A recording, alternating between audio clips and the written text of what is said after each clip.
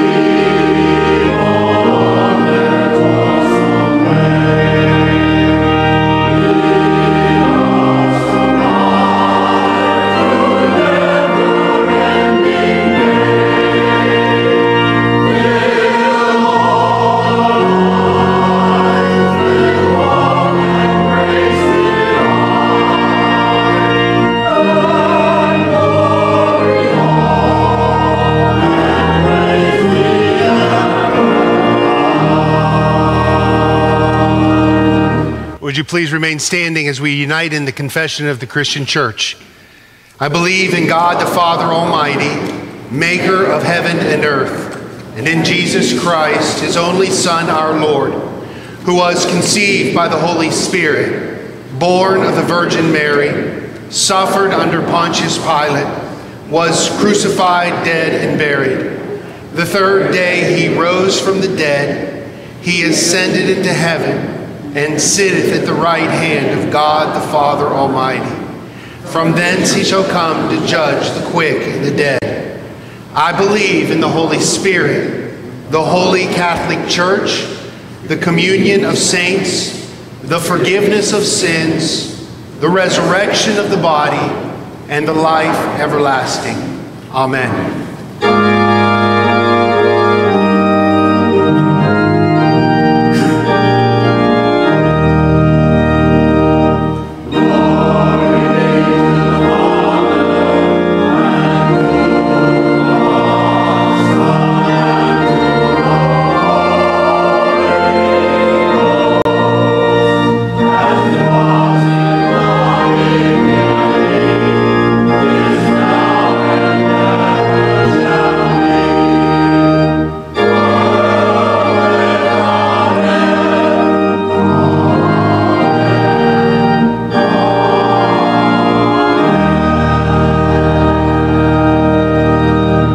Be seated.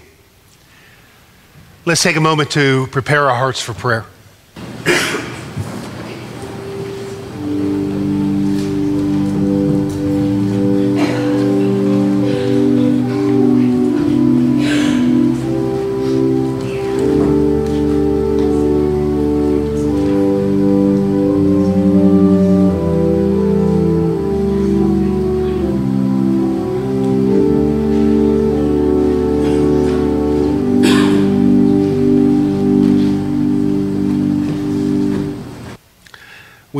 God, constricted to, restricted, O God, to the present moment. Although, O God, we have a future that is yet to unfold and a past that, um, that uh, either is celebrated or causes shame, we have just right now. And so now, O God, we give to you this moment. And we ask, O oh God, as we come together to worship you and we position ourselves in front of the cross, we pray, O oh God, that you would do through your Holy Spirit something we can't do ourselves. Give us courage and the strength to set aside the expectations and the fears of tomorrow and the regrets of yesterday and yesteryear. In regards to our past, O oh God, we live in the aftermath we live in the after effects of what's happened. Even as we u- unite together in song and we, we unite together in the Apostles' Creed, we are pointing to, oh God, an event that has happened, that is happening. And we pray, oh God, that we would be ever so mindful that we do live in this state when it comes to our freedom and those, oh God, who have protected us, who have given families, who, who, who have given as individuals, and those in their families, and those of their loved ones who have given of their time, of their needs, of their wants, of their desires, and many of their lives.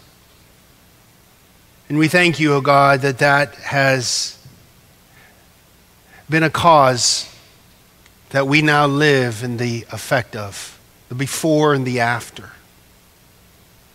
And we also, O oh God, are mindful of your work through your Son on the cross. That we live in the after of that. And all, O oh God, that is ours through the, the book of Ephesians, that it just shares with us the, the, the riches of your grace and your glory that you lavish upon us because of that event. Oh God, keep our eyes ever on the empty tomb with expectation of what you will do tomorrow. All for your glory, all for your kingdom all for the renown of your name. as we unite together in that prayer that your disciples learned from Jesus, saying, Our Father, who art in heaven, hallowed be thy name. Thy kingdom come, thy will be done, on earth as it is in heaven. Give us this day our daily bread, and forgive us our trespasses, and as we forgive those who trespass against us. And lead us not into temptation but deliver us from evil. For thine is the kingdom, the power, and the glory forever. Amen. Our hymn of preparation is hymn number 437. Would you stand as you are able and join us and sing?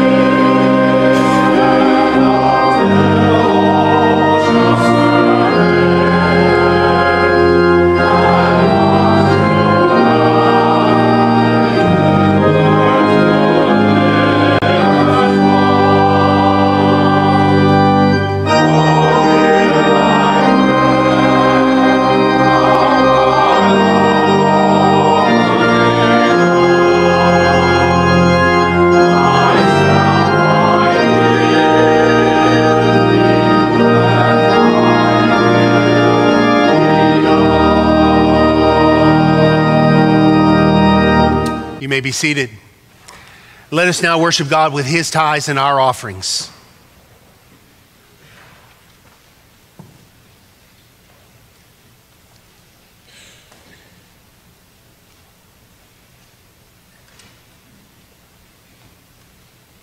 Pray with me. Receive these, O God, your tithes and our offerings. Allow them to be used in this church, multiplied for the kingdom, so that we may be able to further it and hasten your return. It's in your Son's precious name we pray. Amen.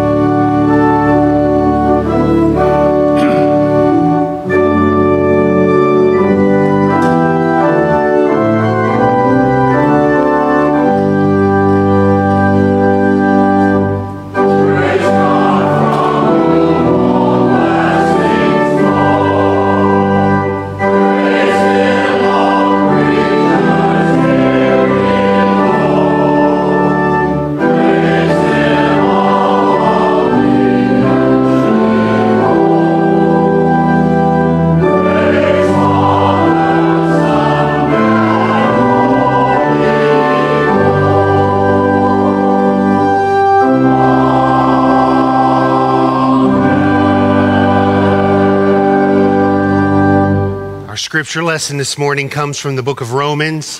Would you please remain standing as we read our gospel or our scripture passage this morning? I consider that the sufferings of this present time are not worth comparing with the glory about to be revealed to us. For the creation waits with eager longing for the revealing of the children of God. For the creation was subjected to futility, not of its own will, but of thy will, and the one by, who subjected it in hope that the creation itself will be set free from its bondage to decay and would obtain the freedom of the glory of the children of God. We know that the whole creation has been groaning in labor pains until now. And not only the creation, but we ourselves, who are the first fruits of the Spirit, groan inwardly while we wait for the adoption, the redemption of our bodies. For in hope we were saved. Now, hope that is seen is not hope. For who hopes in what is seen? But if we hope for what we do not see, we wait for it with patience. Likewise, the Spirit helps us in our weaknesses. For we do not know how to pray as we ought, but the very Spirit intercedes with sighs too deep for words. And God, who searches the heart, knows what is the mind of the Spirit, because of the Spirit, because the Spirit intercedes for the saints according to the will of God. We know that all things work together for good for those who love God, who are called according to his purpose. For those who, whom he foreknew, he also predestined to be conformed in the image of his Son, in order that he might be the firstborn within a large family. And those whom he predestined, he also called. And those whom he called, he also justified. And those whom he justified, he also glorified. This is the word of God for the people of God. And may the peace of Christ be with you. With you. I welcome you uh, members and visitors. We're so very glad that you're here with us today or worshiping online. There is a red pew pad in the center aisle. Would you please take a moment to register your attendance with us? Pass it down, pass it back again, learning the names of those who are worshiping around you. And as the children come forward for the children's sermon, I invite you to greet those around you.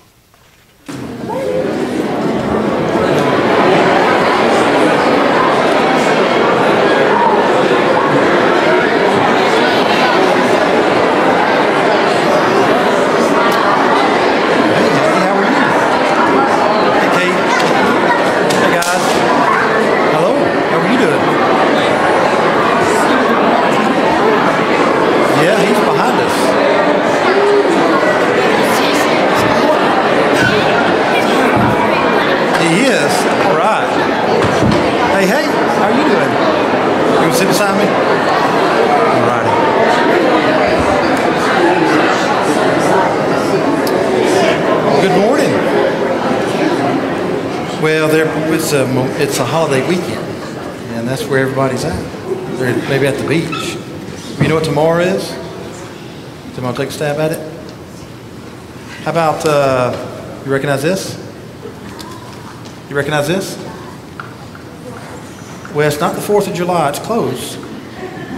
It's Memorial Day. Memorial, that's right, Memorial Day. Good answer. Tomorrow is Memorial Day. It is tomorrow, Memorial Day. On the way into church this morning, you know how many flags I saw? 12. 12 different flags. Can you believe that? So, I, what I want you to do is, I want you to see how many flags you see on your way to lunch and then on your way home. Okay, let's see who can, who can, who sees the most. How about that? You can let me know next Sunday. You don't, you don't think you'll see any?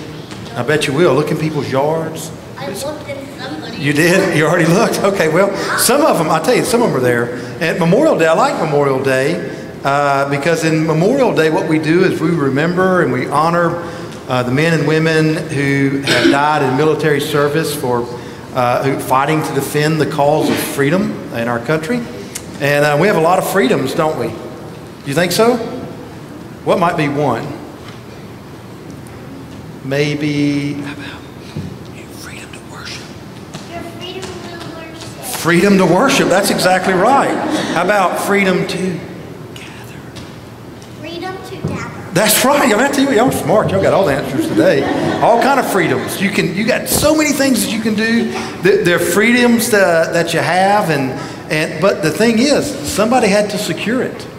and uh, which means they had to pave the way for us and to, and to, and to make sure and maintain the, the type of freedoms that we live in our country. But inside the church, we also talk about another freedom. You know what that might be?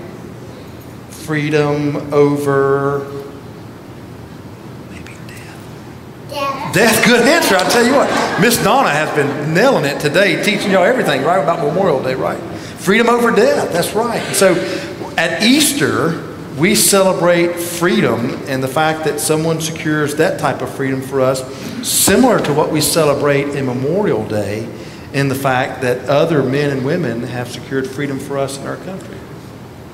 So, Memorial Day, right? Favorite holiday? Maybe not. Well, the good news is you're out of school, right? Yep. You get to sleep in tomorrow. Yep. Right? Okay. Well, I thought that y'all thrilled at the children's sermon. And so, uh, what I'm going to do is I'm going to pass y'all over to Miss Donna and a few others. But before we do, can, can you pray with me? Can you close your eyes? All right, let's close our eyes. You ready? Oh God, we give thanks for freedom and, and a host of uh, different ways that we experience that. Uh, some in the part of the country that we live in, and for how that is secured for us. We're grateful. Uh, we don't want to take that for granted. At the same time, the freedom that we have in Christ, uh, we're grateful for that as well, oh God. What I pray for these who sit with me, watch over them, keep them safe. Uh, Show them how much you love them, oh God. Remind them how, how important they are to you and to us.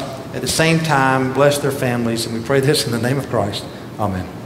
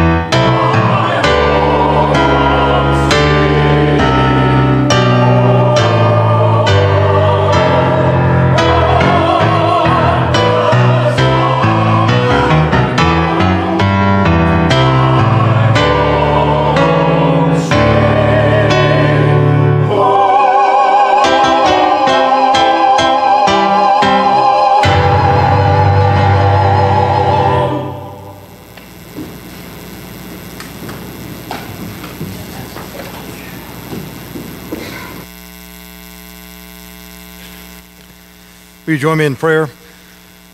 Oh God, as we continue to worship, what we pray, Lord, is that you would use the scripture lesson uh, in such a way that it becomes the gospel.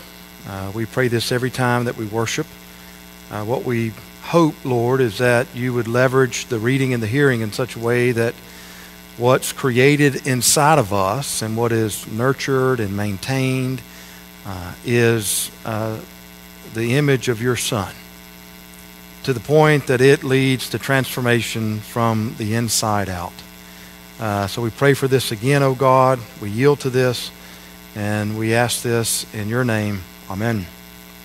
I want to continue the conversation from last week. Last week, we uh, tackled, or at least uh, um, addressed, the issue of what we call theodicy. And most of us know that concept went uh, around the question of why do bad things happen uh, particularly why do bad things happen to, to good people. And what we looked at last week is in order to answer that question, we have to reconcile three different issues. We have to reconcile what our faith uh, dictates and, and, and teaches the idea of a benevolent, good God, uh, an omnipotent or all powerful God, uh, and what our life tells us is that we have or live with world in a world where bad things happen. To use uh, classical language, we live in a world where evil exists. And the struggle with us is because most of us operate under a premise that uh, if we follow this good, benevolent, all powerful, omnipotent God, then bad things should not happen for those who follow this type of God. And so we, as so throughout the ages, Christians have struggled with this. And for some, it's been a deal breaker. For some, it's been a hurdle uh, that uh, they can't overcome. And, and, there have been schools of thoughts on how to answer this. The, the one way is, or at least one school of thought, seeks to reconcile those three by addressing the idea of the experience of bad things. People in, who, who subscribe to this school would say that, that we just have the wrong perspective. We approach bad things uh, with the wrong perspective. If we could just see the silver lining behind it all, then somehow that would change our understanding of it, and it really wouldn't be a bad thing. Uh, as I mentioned last week, I, I find this uh, solution wanting a great deal. deal Uh, because I don't think it addresses fully human depravity or the, depravity that's in the world. And on top of that, there, there are so many atrocities and different types of experiences that we have that just a change of perspective is not going to cut it. It's not going to solve the issue. There's another school of thought that uh, addresses it not from the idea of your perspective uh, when it comes to evil or bad thing or, or, or even from omnipotence. They seek to, to reconcile those three issues together by looking at what it means for God to be benevolent, what it, God's to, what it means for God to be good. And, and pe- people in this school say that, well, you can't have evil or bad things in the world and an all powerful God. So the issue is that we really don't have a good or benevolent God.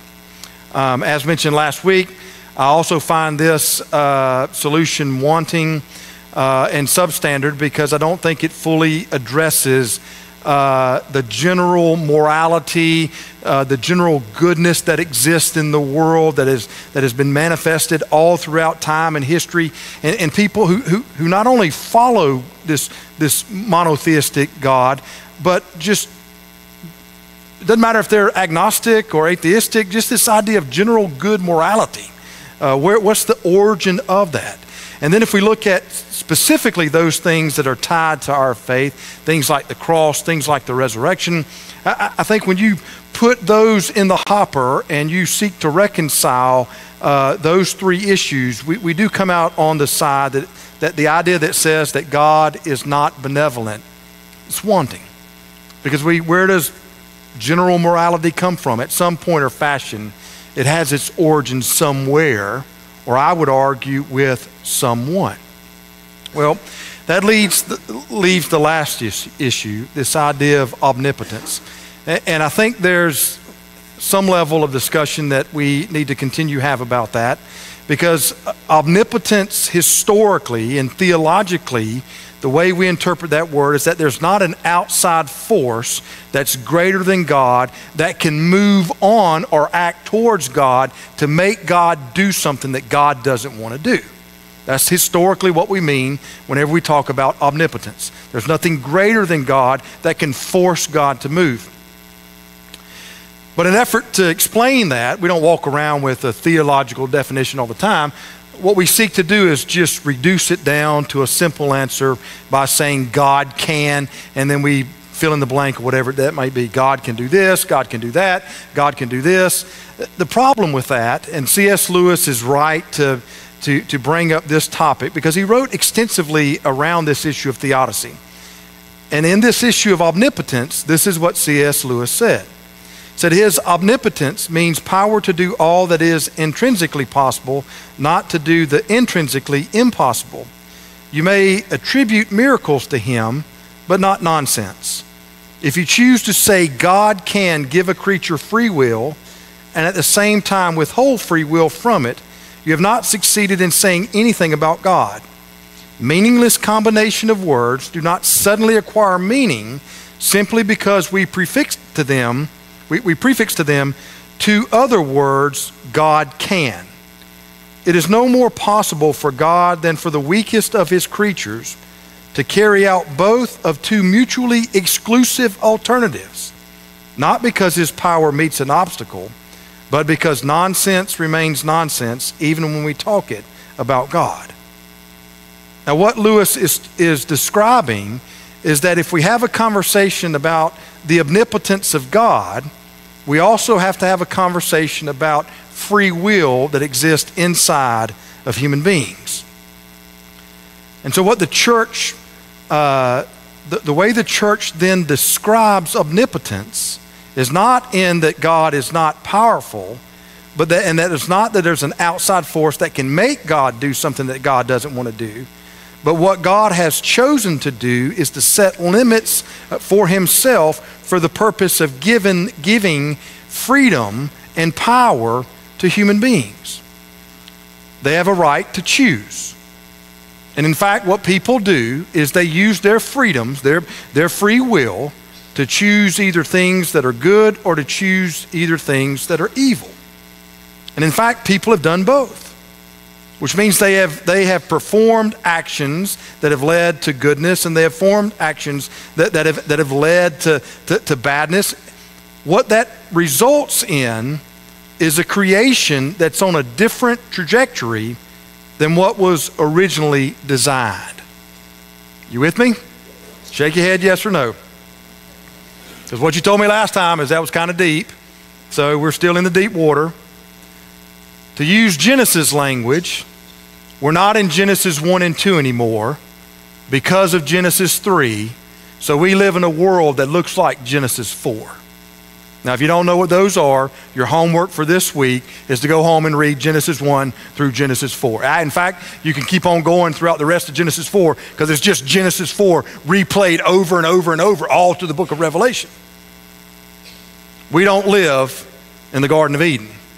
Now, if you want another analogy, what we mentioned last week is if you can imagine the sanctuary has a gazillion mouse traps in them, and on the, the trigger of the mouse trap are ping pong balls. And if someone just takes a small pebble or a rock and throws it out into the middle of the room and it hits one of those mouse traps, what's going to happen? It's going to spring and then it's going to alter the entire room because it's going to go from one ping pong ball to two ping pong, ping pong balls to, to, to infinitely amount of ping pong ball. And so our room is going to look completely different. If you don't like that analogy, let me give you one from Marvel Comics. Now, some of you are paying attention because if you think back to that last century saint, the patron saint of spiders, Peter Parker, who is AKA who? Spider Man. Thank you. Look at that. You got it. Genesis 1, 2, 3, and 4, don't care about. Spider Man, care about, all right? Listen, Spider Man was my favorite history. Every, I mean, my favorite character. Growing up, I could relate everything back to Spider Man. Spider Man 3. Spider Man confronts one of his arch enemies by a guy who is named Venom. And the origin of venom, if you know anything about the movie, is there's this foreign substance, a little tiny foreign substance that falls on this other guy. And from that small little substance, it grows and it grows and grows, and it changes the guy into the character Venom. Who is bad? Spider Man, good.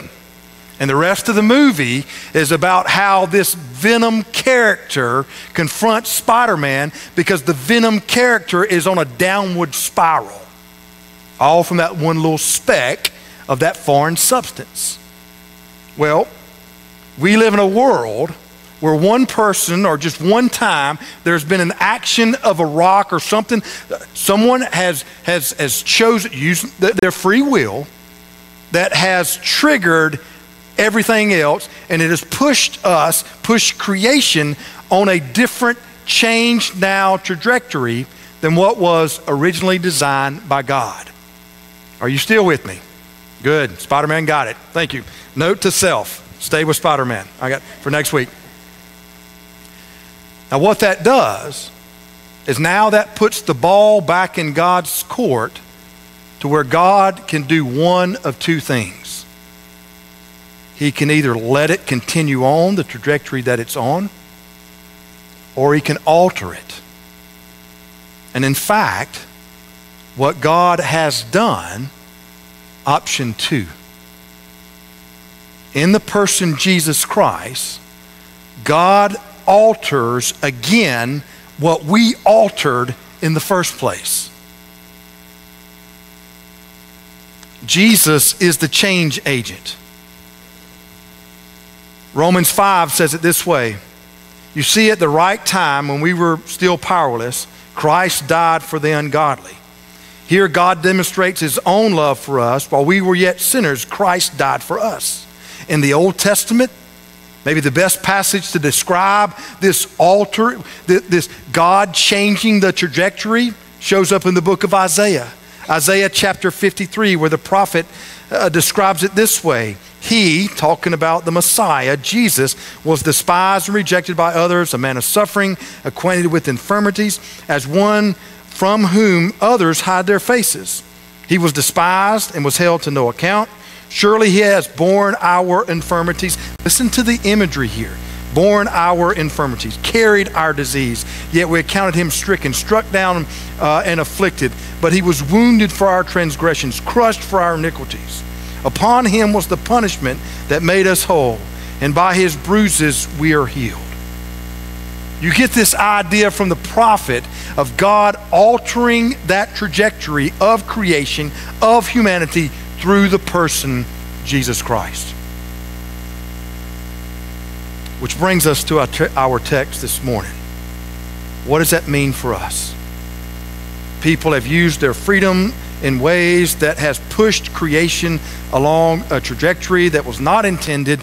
God is not content to let it just go and, and fend for itself, so he engages again through the person Jesus Christ, altering that trajectory. So, what does that mean for us? It means that there's nothing that can separate you from the love of God God cannot, cannot, and will not stop loving you, nor creation. So the idea that when we say God can and then we put anything in that blank, that's not a true statement. Because one of the things that God cannot do is He cannot stop loving you or creation. So that's the first effect of this altered trajectory. The second effect is the goal of what that love seeks to produce. And that is a better creation and a better humanity. Now, in the scriptures, it doesn't talk about Spider Man or anything like that, so it uses different language. In the scriptures, we have language like redemption, we have language like restoration.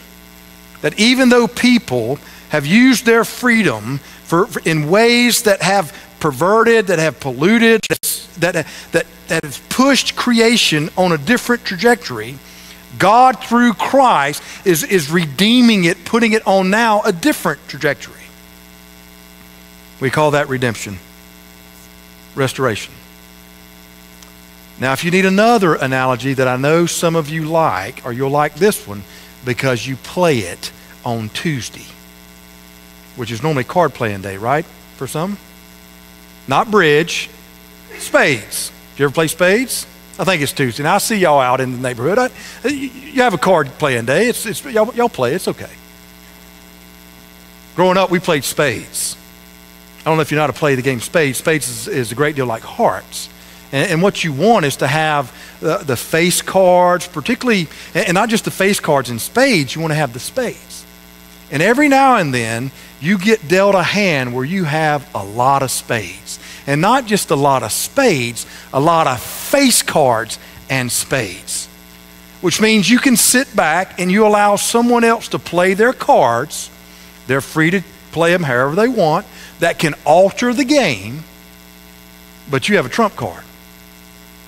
They play their card and you're just waiting, and then you, you trump it, which means you win. They play it again, you trump it again, right? God has the trump cards. And those spades are Jesus Christ. Which means that all throughout history, how people exercising their freedom, God has dealt them into the game, which means they can use their cards to alter the game. But in Christ, God trumps it. That, in fact, is what we have. Sometimes we experience that personally. The way the scriptures describe that is, is in Christ overcoming sin. We talk about this in personal, how this relates to us personally. The work of the Holy Spirit, we experience that in forgiveness, not just receiving forgiveness, granting forgiveness. We experience this in transformation from the inside out so that our nature is one way, but then with the work of the Holy Spirit, it becomes a different way. The nature of Christ. Talk about on a corporate level, redeeming the world. I love what C.S. Lewis describes about creation and people, humanity. It says, We are not metaphorically but in very truth, a divine work of art, something God is making. And God will not stop making it until it has the look and the character He desires, which requires of Him His love, benevolence, and His power, omnipotence. To want something less than that is to want something less from an omnipotent and benevolent God. And he's right. So, what if in Jesus, whatever was the cause of that altered trajectory, the barriers that we have, what if that's removed in Christ? So that right now, there can be a good God, an all powerful God but who has limited himself so that people have freedom to mature and to grow and to become Christ like, but also have freedom to use their freedoms in ways that have perverted what God originally wanted, thus yielding a world where evil exists and bad things happen. But part of God's benevolence and part of God's omnipotence is the ability to redeem and to help change what is broken, depraved, and fallen while working with and in free beings, but never violating a free being's choice. That, in fact, is what we have. And for that, may all praise be to God. In the name of the Father, Son, and Holy Spirit, let us pray. Oh God, as we wrestle and continually wrestle, because there's different times in our in different seasons of our lives where this question becomes more prominent. What our faith dictates and what we believe is a benevolent, omnipotent God and yet, part of our life experiences is we live in a, in a world of reality where bad things happen. And yet, we see also the face of Jesus Christ where you alter creation and even us. And so as we wrestle with that question, in one hand, help us to hold the hand of Christ in the other. And to trust in your redemption and restoration of not just us, but of all things. And as we yield to that work, help us to trust your Spirit as we use our freedoms that you've given us for things that add to instead of things that take away. And this we pray in the name of Christ. Amen. Our closing hymn, you'll find it's hymn number 710, Faith of Our Fathers. Want to invite you to stand as you're able as we sing this hymn together. Hymn number 710.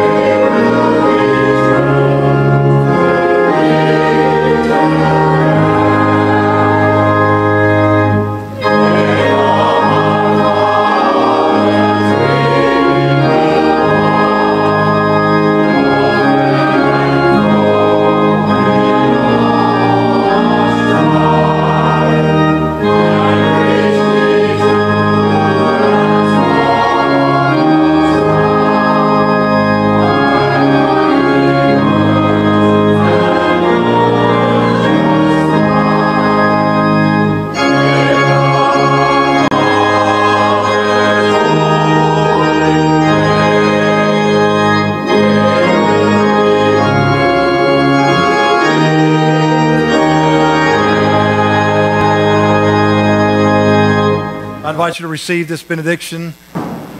Now may the Lord bless and keep you. May the Lord be gracious unto you. May the Lord lift up his face and his countenance and give you rest and peace. In the name of the Father, Son, and Holy Spirit. Amen.